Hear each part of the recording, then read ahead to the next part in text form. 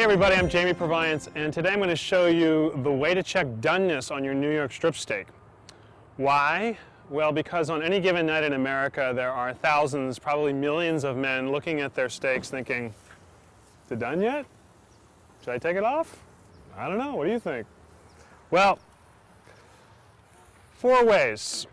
First, a couple of professional ways. A lot of chefs, while the steak is actually still on the grill, will just feel the firmness of the steak either on the side with a pair of tongs or with a finger on the top. And that's because the steak gets firmer as it cooks. It starts out very soft and, and mushy, and as juices are pushed out of the steak, it gets a little bit firmer.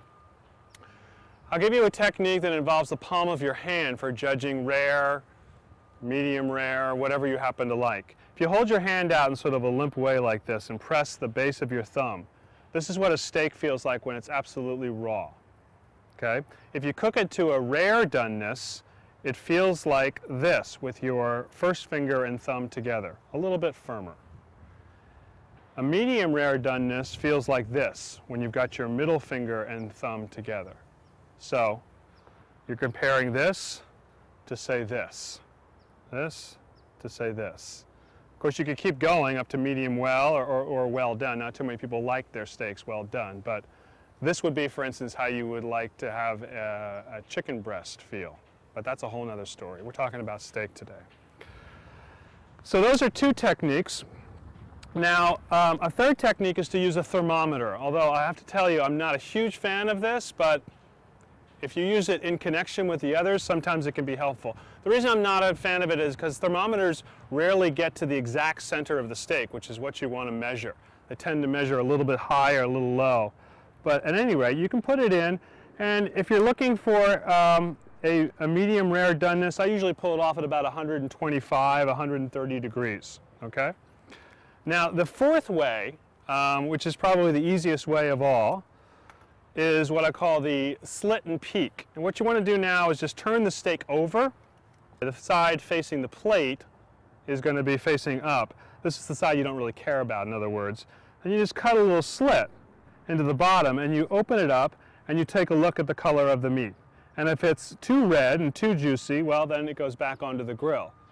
Um, if it's perfectly rosy red, however you like it, then you know you're good to go. If it's gray, well, then you think, well, better luck next time I've overcooked it.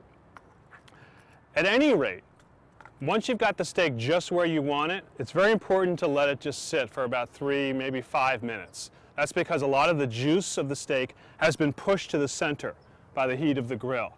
And if you were to cut into it right now, those juices would tend to spill out over the cutting board.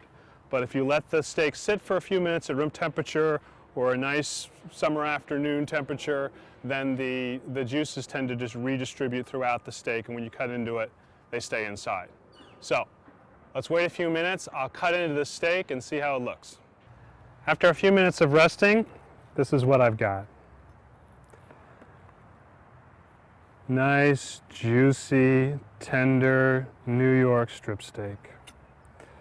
So, you've got four basic ideas all basically working around the idea that a piece of meat gets firmer as it cooks. You can squeeze it on the outside, you can touch it, you can use a thermometer, you can nick it on the bottom and take a peek.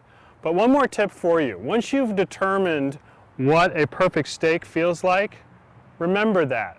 Remember this feeling because once you know this, you never have to use the other three techniques at all. This is the ultimate test. And then there's no more confusion.